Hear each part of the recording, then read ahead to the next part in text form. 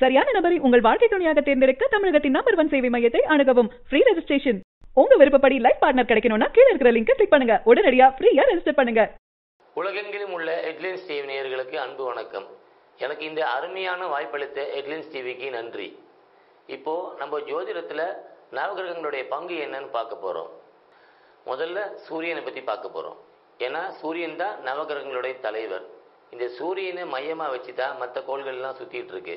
அதனால சூரியன் தான் கிங் ஆஃப் த பிளானட்னு நம்ம சொல்கிறோம் அதே மாதிரி சூரியனும் சந்திரனும் தான் நட்சத்திர கிரகங்கள். ஏன் அப்படின்னு கேட்டிங்கன்னா இந்த சூரியனும் சந்திரனை மட்டும் தான் நம்ம கண்ணால் பார்க்க முடியும். மற்ற கிரகங்களை நம்ம அவ்வளோ சீக்கிரமாக கண்ணால் பார்க்க முடியாது. ஒரு ஜாதகத்தில் சூரியன் நல்லா இருந்தால் தான் அரசாங்க பதவி கிடைக்கிறது அப்புறம் அரசாங்க வேலை கிடைக்கிறது. இந்த மாதிரி ஒரு அரசு சம்பந்தப்பட்ட எந்த விஷயங்களுமே உங்களுக்கு சாதகமாக அமையணும்னா பிறந்த கால ஜாதகங்களில் உங்கள் சுய ஜாதகங்களில் சூரியன் நல்லா இருக்கணும். அப்போ சூரியன் நல்லா இருக்கணும்னா எங்கெங்கெல்லாம் இருந்தால் இதெல்லாம் கிடைக்கும் அப்படின்னு பார்த்தீங்கன்னா லக்னம் அப்படின்னு சொல்லக்கூடியது ஒன்றாம் இடம் அப்புறம் நாலு ஏழு பத்து. இந்த மாதிரி கேந்திர ஸ்தானங்களில் சூரியன் இருந்தார் அப்படின்னா சூரியன் பலமாக இருக்கார் அப்படின்னு அர்த்தம். அதில் குறிப்பாக இந்த ஒன்று நாலு ஏழு பத்தில் சூரியன் ஆட்சியோ அல்லது உச்சமோ பெற்ற மிக சிறப்பு. இந்த ஒன்று நாலு ஏழு பத்துலேயே பத்தாம் இடம் தான் சூரியனுக்கு திக்பலம். அதாவது உங்களுடைய லக்னம் சொல்லக்கூடிய அந்த லக்னத்திலேருந்து பத்தாம் இடம் தான் உங்களுடைய தொழில் ஸ்தானம் சொல்கிறது அந்த தொழில் ஸ்தானம் ஆகிய பத்தாம் இடத்துல தான் சூரியன் வந்து திக்பலம் அடைகிறாரு.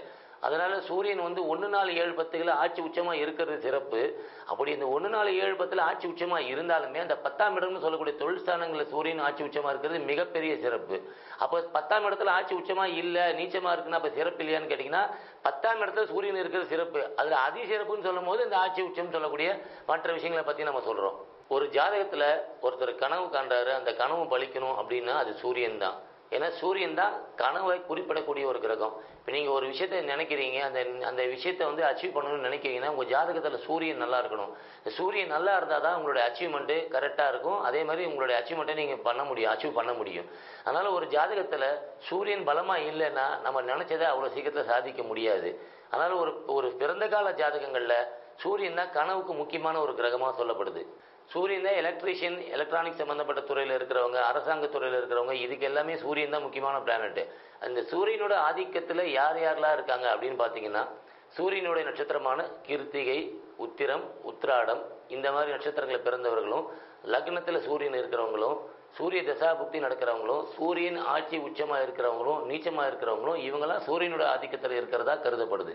எந்தெந்த ராசி எந்தெந்த லக்னங்களுக்கு வந்து சூரியன் வந்து தசா நடத்தினா நல்லா இருக்கும் அப்படின்னு பார்த்தீங்கன்னா மேஷ ராசி மேஷ லக்னத்தை பிறந்தவங்க அதே மாதிரி சிம்ம ராசி சிம்ம லக்னத்தில் பிறந்தவங்களுக்கும் தனுசு ராசி தனுசு லக்னங்களில் பிறந்தவங்களுக்கும் இந்த சூரிய தசை மிகப்பெரிய ஒரு சிறப்பை கொடுக்குது.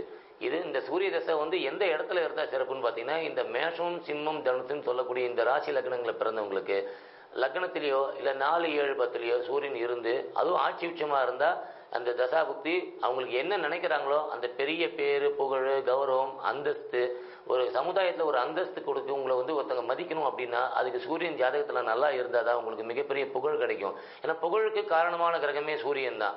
சூரியன் ஒரு ஜாதகத்தில் நல்லா இல்லைன்னா அவங்களுக்கு பெரிய புகழ் கிடைக்காது. அப்படியே அந்த புகழ் கிடைச்சாலும் நிலைக்காது. உங்கள் பிறந்த கால ஜாதகங்களில் சூரியன் நல்லா இருந்தால் தான் அந்த புகழ் நிலைச்சு நிற்கும் சூரியன் நல்லா இல்லைன்னா அந்த புகழ் உங்களுக்கு நிலைக்காது.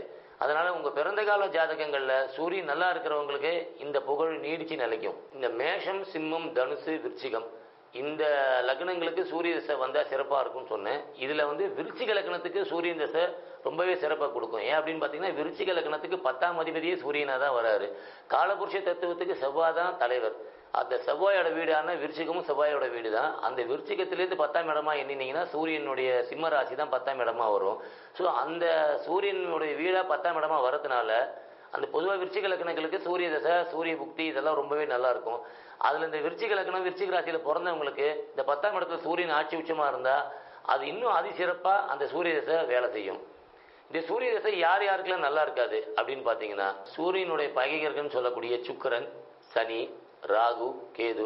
இவங்களோட சூரியன் சேராம இருந்தா இந்த சூரிய தசை நல்லாவே இருக்கும். அதே மாதிரி இந்த சுக்கரன் சனி ராகு கேதுவும் உடைய பார்வையிலே சூரியன் இல்லாம இருந்தாலும் இந்த சூரிய தசை நல்லா இருக்கும். இந்த கிரகங்களுடைய பார்வை இருந்தா பெரிய லெவல்ல சூரிய தசை வேலை செய்யாது. இந்த சூரிய தசை எப்போ வந்தா நல்லா இருக்கும்?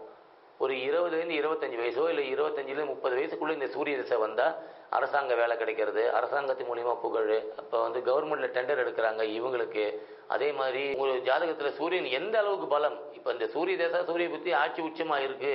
இருந்தாலுமே சூரிய அந்த அளவுக்கு எனக்கு சரியா வேலை செய்யலை அப்படின்னு சொல்றவங்களுடைய பார்த்தீங்கன்னா இவங்க ஜாதகத்துல இந்த பகை கிரகங்கள் சொல்லக்கூடிய இந்த சுக்கரனுடையோ இல்லை சனி ராகு கேதோட சேர்க்கையோடைய பார்வையோடைய இந்த கிரகம் இருக்கும்போது தான் உங்களுக்கு சூரிய தசை பெருசா வேலை செய்யறது இல்லை அப்போ சூரியனுடைய தசை வேலை செய்யணும்னா அப்போ எந்த கிரகத்தோட சேரணும் அப்படின்னு பார்த்தீங்கன்னா சூரியன் வந்து சந்திரனோட சேர்ந்தா ரொம்ப பலம் ஜாஸ்தி. செவ்வாயோட சேர்ந்தாலும் பலம் ஜாஸ்தி. இந்த சூரியன் வந்து சந்திரன் செவ்வாயை விட குருவோட சேர்க்கையோ குருவோட பார்வையோ இருக்கும்போது சூரிய தசை மிகப்பெரிய அளவில் வேலை செய்யும். யார் யாருக்குள்ள பிறந்த கால ஜாதகங்களில் சூரியனோட குரு சேர்ந்துருக்கோ சூரியனை வந்து குரு பார்க்குதோ இவங்களுடைய ஜாதகங்களை எடுத்து பார்த்தீங்கன்னா அவங்க பரம்பரையில் யாரோ ஒருத்தர் அந்த கோவில் சம்பந்தமான திருப்பணிகள் இருக்கிறவங்க அதே மாதிரி கோவிலில் வந்து தர்மகர்த்தா இருந்தவங்க ஜாதகங்களை எடுத்து பார்த்தீங்கன்னா அவங்க பரம்பரையில் இந்த சூரியன் குரு சேர்ந்த ஜாதகங்களை தான் புண்ணியங்கள் அதிகமாக இருக்கும்.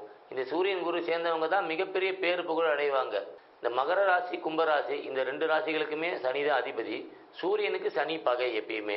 அதனால இந்த மகர ராசிக்கு மகர லக்னத்துக்கு சூரியன் எட்டாம் அதிபதியாக வர்றதுனாலையும் கும்பத்துக்கு ஏழாம் அதிபதியாக வர்றதுனாலையும் இந்த மகரம் கும்பம் இந்த ராசி லக்னங்களுக்கு சூரியனுடைய தசையோ இல்லை சூரிய நட்சத்திரத்தில் பிறந்தாலோ பெரிய ஒரு ஏற்றமோ இருக்கிறது இல்லை பெருசாக இருக்கிறது இல்லை இவங்களுக்கு. அதே மாதிரி இந்த மீனராசி மீன பிறந்தவங்களுக்கு சூரியன் ஆறாம் அதிபதியா வர்றதுனாலையும் சூரிய தசை மிகப்பெரிய லெவலில் அவங்களுக்கு வந்து கை கொடுக்கறது இல்லை. இந்த குரு பார்வையில சூரியன் தசை நடத்தினா மிகப்பெரிய சிறப்பு. ஏன் அப்படின்னு கேட்டீங்கன்னா இந்த குருவோட சூரியன் சேர்றது இல்ல குரு பார்வையில் சூரியன் இருக்கிறது இவங்களுக்கு தான் பூர்வ புண்ணிய சொத்துக்கள் கிடைக்கும். அது மாதிரி திடீர் ஒரு அனாமத்து சொத்து கிடைக்கிறது அப்படின்னா இந்த சூரியன் குரு சேர்க்கிறவங்களுக்கு தான் மற்றவங்களுடைய சொத்து சொத்துக்கு பினாமியா போறது. இந்த மாதிரி ஒரு அதிர்ஷ்ட வாய்ப்புகள்லாம் இந்த சூரியனும் குருவும் சேர்ந்தவங்களுக்கு தான் கிடைக்குது. ஒரு ஒரு கிரகத்துக்கும் மெடிக்கல் ஆஸ்ட்ராலஜியில் என்ன விதமான பலன்கள் என்ன விதமான நோய்கள் வருது ஒரு ஒரு கிரகத்தினாலேயும் அப்படின்றத நம்ம பார்க்கலாம். இப்போது முதல் கிரகம் வந்து சூரியன். இந்த சூரியன் ஒரு ஜாதகத்தில் நல்லா இருந்ததுன்னா கண் பார்வை நல்லா இருக்கும் எலும்புகள் உறுதியாக இருக்கும் முடி நல்லா இருக்கும். இந்த சூரியன் ஒரு ஜாதகத்தில் நல்லா இல்லை அப்படின்னு பார்த்தீங்கன்னா முடி கொட்டுறது பல்லு உடையிறது எலும்புகள் உடையிறது கூன் விழுறது இந்த மாதிரி பிரச்சனைகள்லாம் இந்த சூரியன் நல்லா இல்லாம கெட்டு போயிருந்தா இந்த மாதிரி பிரச்சனைகள்லாம் வரும். அதே மாதிரி குழந்தை பேருக்கு குரு தான் ரொம்ப முக்கியமா நம்ம சொல்றோம். ஏன்னா குரு தான் புத்திரக்காரகன்னு சொல்றோம்.